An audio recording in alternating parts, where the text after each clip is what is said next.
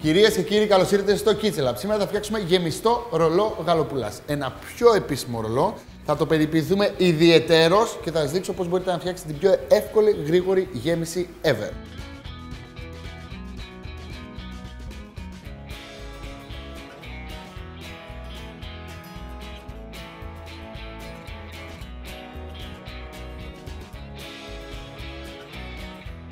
Και πάμε να ξεκινήσουμε. Λοιπόν, θέλουμε ένα τύπου wok πάνω στη φωτιά. Θέλουμε γενικά ένα βαθύ τηγάνι όταν κάνουμε γέμιση. Γιατί όπως θα δείτε, άμα δεν πάρουμε βαθύ τηγάνι, θα φεύγουν όλα απ' έξω. Οπότε πρέπει να προσέχουμε.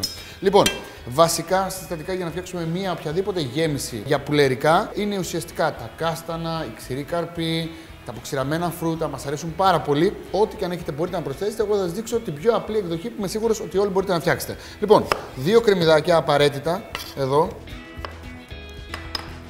και θα τα χοντροκόψουμε εδώ.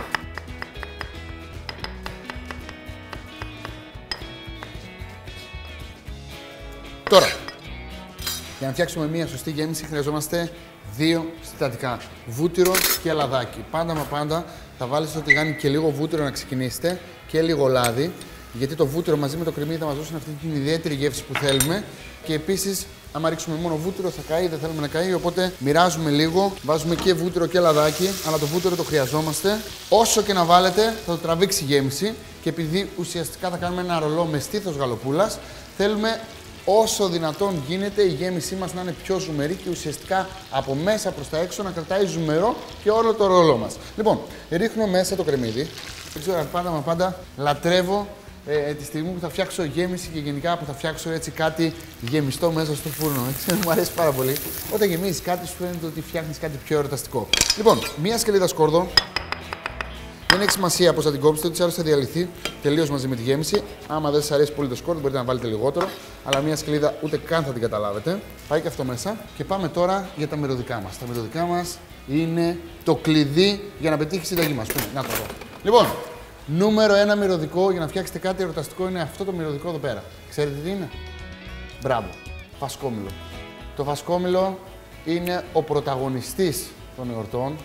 Ουσιαστικά οτιδήποτε και να φτιάξετε, άμα βάλετε φασκόμηλο, θα γίνει πραγματικά πάρα μα πάρα πολύ εορταστικό. Έχετε συνηθίσει να το τρώτε, απλά ίσως να μην έχετε καταλάβει τη γεύση του, ίσως να μην το έχετε συνδυάσει, αλλά ουσιαστικά τα φιλαράκια από το φασκόμηλο πραγματικά απογειώνουν τα πάντα όταν φτιάχνουμε σε εορτές. Κοιτάξτε εδώ, το κρεμμύδι μας έχει καραμελώσει και θέλουμε να καραμελώσει.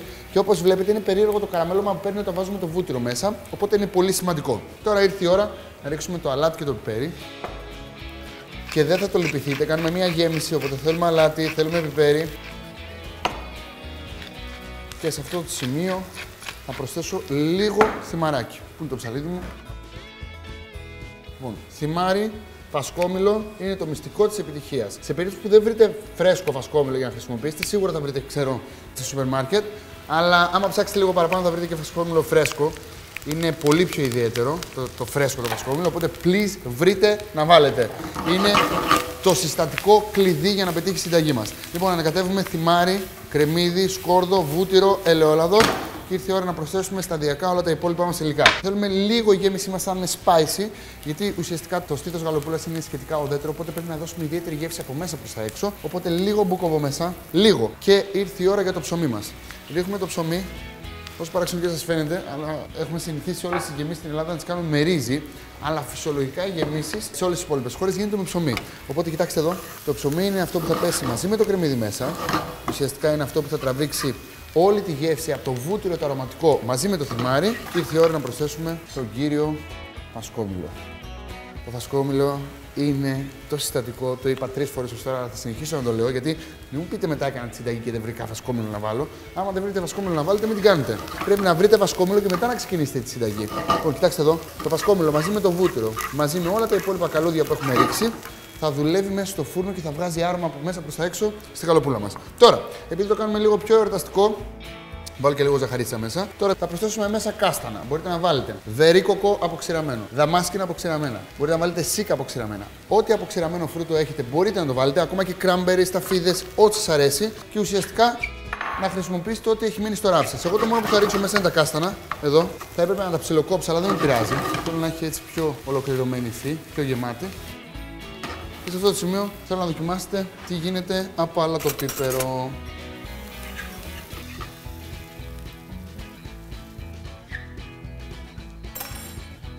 Φασκόμηλο. Δεν υπάρχει. Φασκόμηλο, φασκόμηλο, φασκόμηλο, φασκόμηλο.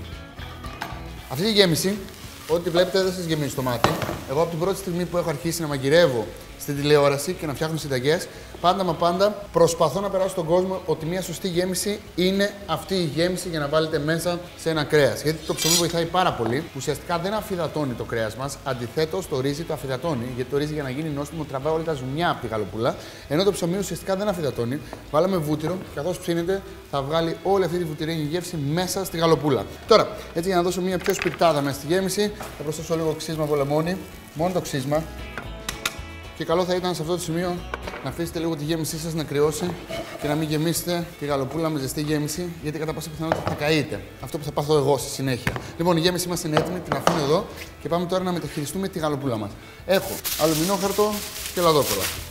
Η μία εκδοχή είναι να μην βάλουμε σκηνάκια και να πάμε τελείως κομμάντο ε, να τυλίξουμε κατευθείαν τη γαλοπούλα και να γίνει μια χαρά. Θα γίνει, απλά θα ανοίξει σε κάποια σημεία. Αν θέλετε να είστε λίγο πιο professional, πιο pro, like a boss, θα κάνετε ακριβώς ό,τι θα σας δείξω εγώ. Λοιπόν, αλάτι πιπέρι.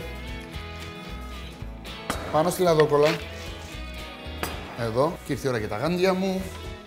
Τρελαίνομαι. Η όλη διαδικασία είναι τόσο απλή. Ξέρετε, όταν βγάζουν ένα ψητό στο φούρνο ή ένα ρολό, Όλοι λένε πω, πω, έχει χάσει 10 μέρες για να το φτιάξει και πόσο δύσκολο είναι και το ένα και το άλλο. Είναι πραγματικά όλα αστεία, να ξέρεις ακριβώς τι έχεις να φτιάξεις. Λοιπόν, εδώ έχω το στήθος γαλοπούλας, αλλά επειδή θέλουμε να το κάνουμε έτσι λίγο πιο σεξy, θέλουμε να του δώσουμε μια καπνιστή γεύση ε, και ένα καπνιστό άρωμα. Ουσιαστικά θα προσθέσουμε και μπέικον γύρω-γύρω από το στήθος γαλοπούλας. Πριν όμως ε, βάλουμε το, το μπέικον, επειδή όπως σας είπα θέλω να είστε λίγο πιο προ, θα βάλουμε λίγα σκηνάκια εδώ. Λοιπόν, οπότε θέλω λίγο μπέικον, μία, Ε, νομίζω είναι αρκετές. Λοιπόν, έτσι όπως είναι, θα πάρω το φιλέτο γαλοπούλας και θα βάλω πάνω από το μπέικον αλάτι, πέρι και ελάχιστο βουτυράκι. Το βούτυρο θα μας βοηθήσει στο να κρατηθεί ζουμερό το στήθος γαλοπούλας. Ε, όπως είναι, βάζω τη γαλοπούλα από πάνω και θα ανοίξω στη μέση. Βλέπεις, πόσο εύκολο, πανεύκολο. Έτσι όπως είναι, θα πάρω και θα ρίξω όλη τη γέμιση μέσα, έτσι να καίγεται το χέρι μου, να το κάνω ακόμα πιο δύσκολο. Μπράβο. Και μόλις θα κάνω αυτό, έτσι όπως είναι, πόσο δύσκολο ήταν. Πανεύκολο. Δεν ζοριστήκαμε, όλα ήταν υπό έλεγχο και ήρθε η ώρα να καλύψουμε ξανά από πάνω με τι;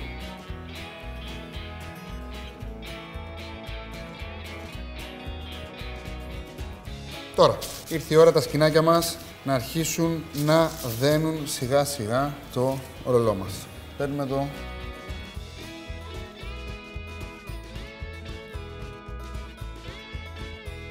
Κόβουμε ό,τι σκηνάκι περισσεύει εδώ. Ένα, δύο. Λοιπόν, το υπόλοιπο βούτυρο θα το ρίξω από πάνω, εδώ. Άσχετα από το μπέικον έχει λιπαρά, σκεφτείτε ότι έχουμε ένα στήθος που δεν έχει καθόλου μα καθόλου λιπαρά, οπότε χρειάζεται λιπαρά για να ψηθεί. Λοιπόν, πρώτα γαντιά, λίγο λατάκι, λίγο πιπεράκι. Μπορείτε να βάλετε ό,τι αρωματικά θέλετε και όλα για το τύλιγμα. Εδώ, πρώτη λαδόκολα, καραμελίτσα.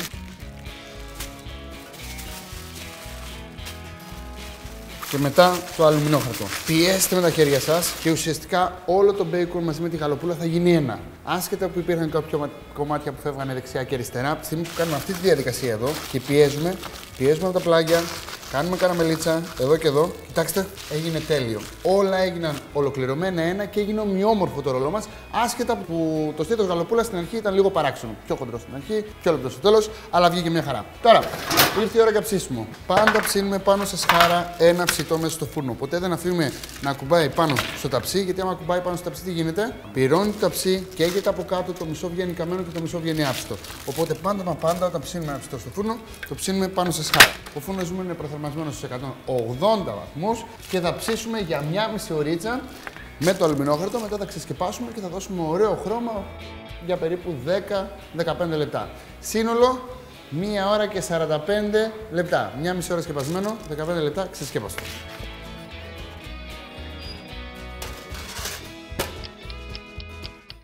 Και το ρολό μου είναι σχεδόν έτοιμο, οπότε θα ετοιμάσω μια ωραία γαρνιτούρα για το ρολό. Έχω ένα τηγάνι αντικολλητικό που έχει πάρει έτσι φωτιά και θα ρίξω μέσα ελαιόλαδο. Δεν θα το λυπηθώ, θέλω περίπου 3-4 σπουδαγιέ σούπας. Φαίνεται ότι πέφτει πολύ, αλλά δεν πέφτει, μην νομίζετε. Χρειαζόμαστε λαδάκι να πάρουν ωραίο χρώμα τα λαχανικά μας. Και έχω baby πατατούλες βρασμένες, baby καρότα και baby καλαμπόκι. Όλα αυτά τα έχω βράσει, είναι βρασμένα 100%. Οπότε το μόνο που θα κάνω είναι να ρίξω μέσα στο τηγάνι τις πατάτες μου, τα καρότα μου και τα καλαμπόκια μου. Εδώ. Κοιτάξτε τι ωραία που είναι. Είναι φανταστικά. Και θα προσθέσω βέβαια αλάτ πιπέρι.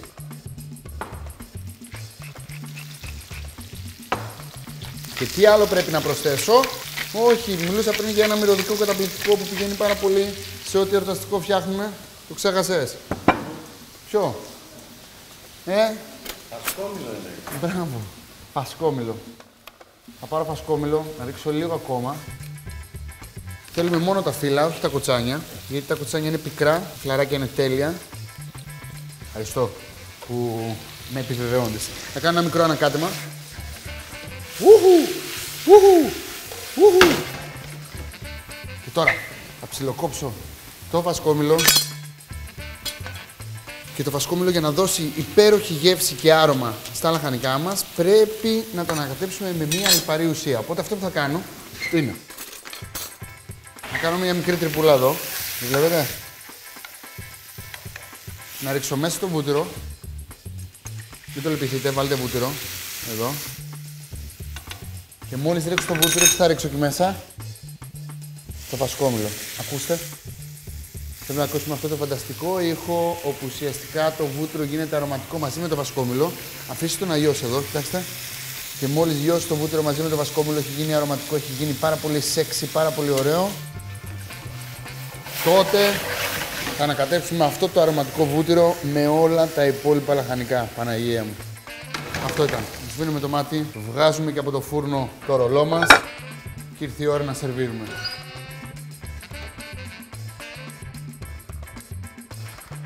Φανταστικό. Κοιτάξτε εδώ. Και μόνο σαν εικόνα το να έχεις αυτό το υπέροχο ρολό με αυτά τα λαχανικά είναι φανταστικό. Και τώρα η εξής ερώτηση. Θέλετε να βγάλω πιατέλα ή πιάτο; Πια, πιάτο, πιάτο, πιάτο. Μία πιατέλα, πέντε πιάτα. Λυπάμαι πάρα πολύ, Μιχάλη, αλλά θα κερδίσει το πιάτο. Και η πιατέλα είναι πολύ θεαματική, αλλά καταλαβαίνετε ότι εδώ πέρα έχουμε δημοκρατία. Οπότε πραγματικά δίνουμε σημασία στη γνώμη σας και υπάρχει ένα αντιπροσωπευτικό δείγμα από τους ανθρώπους που υπάρχουν εδώ πέρα, γιατί υπάρχουν τουλάχιστον 25, 4. Οπότε καταλαβαίνετε ότι λόγω δημοκρατίας πρέπει να ακολουθήσω ακριβώς τις συμβουλές. Βγάζουμε τα σκηνάκια. Λοιπόν, τώρα, πώς θα το κόψω, Παναγία μου, θέλω ξυλοκοπήσεις εκ των πραγμάτων. Τέλεια. OK. Okay. Αυτό πάει πίσω.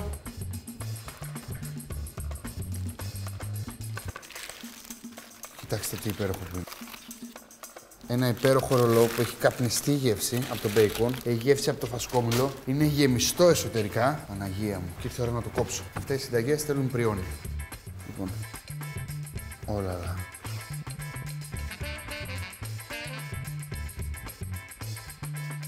Και, και, και. Έχω ένα υπέροχο πιατάκι εδώ, λαχανικά, Καλαμπόκι, baby καρότο, πατατούλες. Κοιτάξτε τι ωραία που είναι.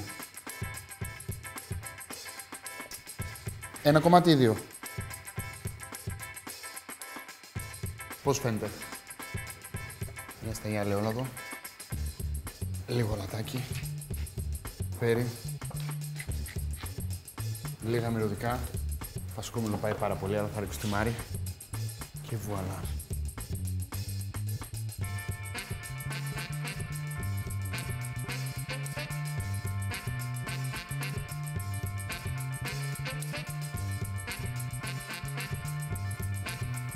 Κοιτάξτε εδώ. Έχω ψήσει λίγη ώρα σχετικά τη, τη γαλοπούλα. Δηλαδή, ο χρόνος που σας έδωσα είναι για να βγει πάρα πολύ τρυφερό το κρέας. Θέλω να πάρετε λίγο απ' όλα. Λίγο γέμιση, λίγο μπέικον, λίγο γαλοπούλα και πραγματικά τότε θα ζήσετε την απόλυτη εμπειρία. Το κρέας πραγματικά Είναι τόσο μαλακό, λιώνει στο στόμα, έχει μείνει πάρα πολύ ζουμερό. Γιατί όλα αυτά που δείξαμε είναι μυστικά. Από μέσα κρατήσαμε ζουμερό το κρέα, το βουτυράκι το χρειαζόταν, το μπέικον το χρειαζόταν και βέβαια τη γέμιση του ψωμιού τη χρειαζόταν οπωσδήποτε. Όλα να το δοκιμάσετε, θα με γνωμονείτε. Μην ξεχάσετε να βάλετε το φασκόμηλο. Φιλάκια πολλά. Ραντεβού στο επόμενο επεισόδιο. Θέλω comments κάτω από το βίντεο. Να φτιάξετε τη συνταγή, να μας στείλετε φωτογραφίες. Μην ξεχάσετε να συνοδεύσετε αυτή την υπέροχη γαλοπούλα με μια παγωμένη κοκακόλα. Φιλάκια πολλά.